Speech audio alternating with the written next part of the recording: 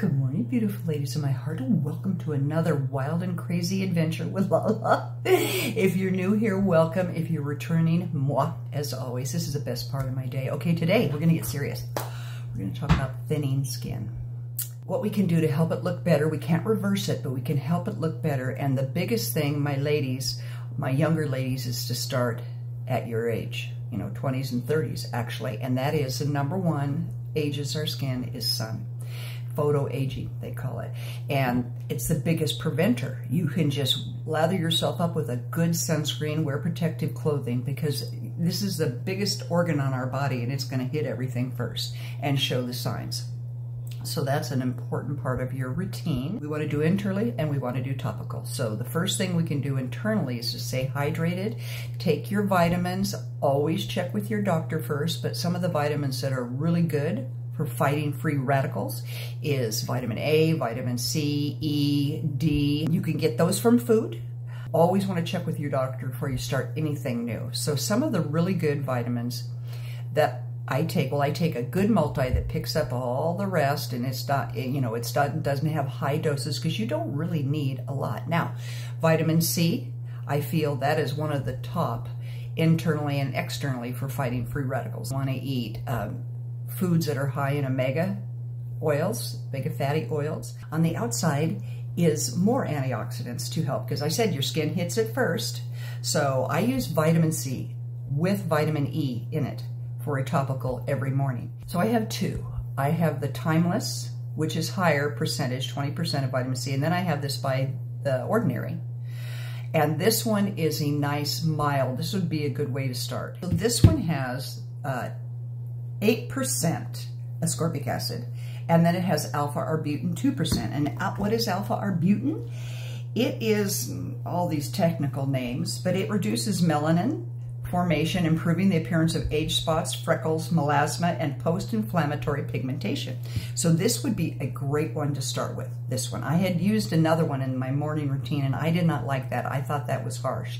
So I recommend replacing that with this, especially if you've never used a vitamin C. It's very healing. And so then at night, I use tretinoin.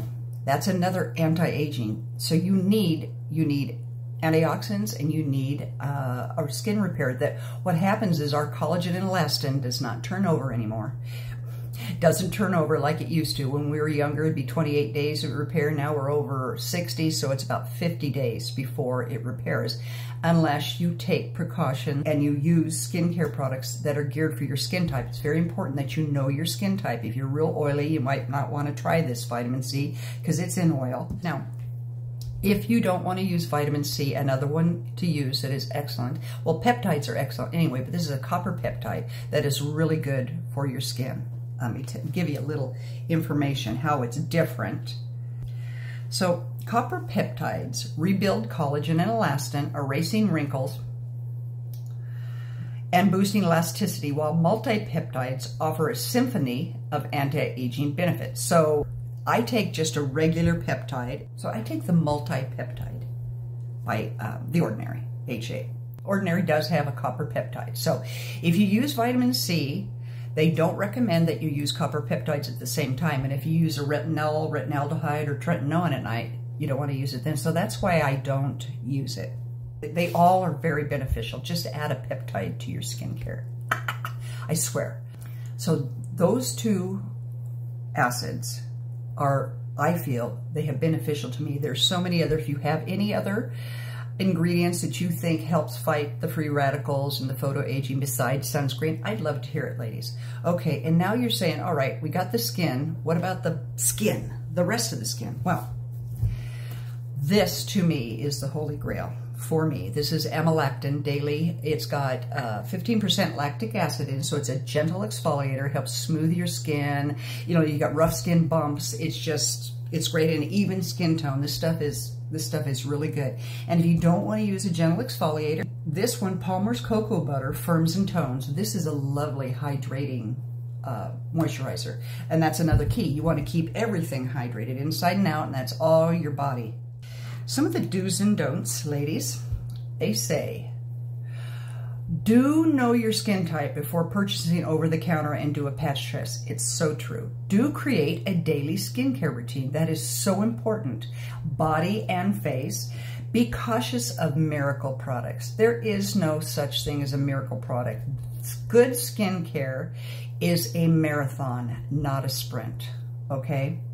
Don't buy products without doing research on them. Very important. Don't forget to use your products that contain sunscreen. Yeah.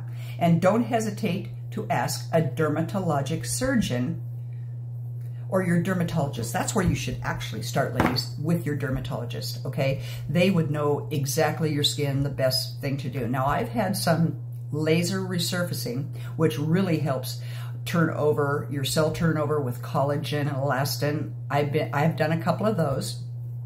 So that's an option. And then microneedling. And this is so interesting because I was approached by a company named Cure, asked if I'd like to try this. It had such good reviews that I said, okay. So I did that this morning. All right.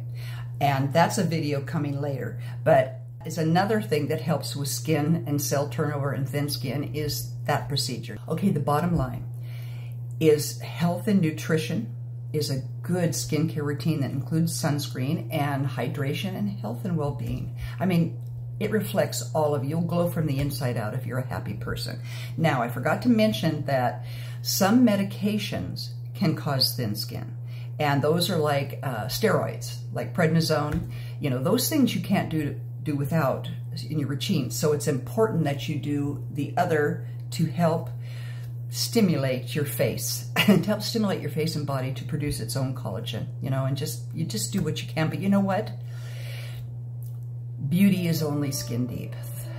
All of this is secondary to a happy, healthy life. I can't stress that enough, you guys. It's just you guys are my happy place. I hope you have your happy place. I might be mine. I don't know. But in the meantime, Take care of yourself, enjoy yourself, don't step in anything squishy. I don't know how that'll affect your skin, but just it's something that I feel is important. I love you all. We'll see you soon. Please give me your suggestions. If you haven't subscribed, please subscribe and like. I, it, it's just the cat's meow for me. All right, I love you. See you soon.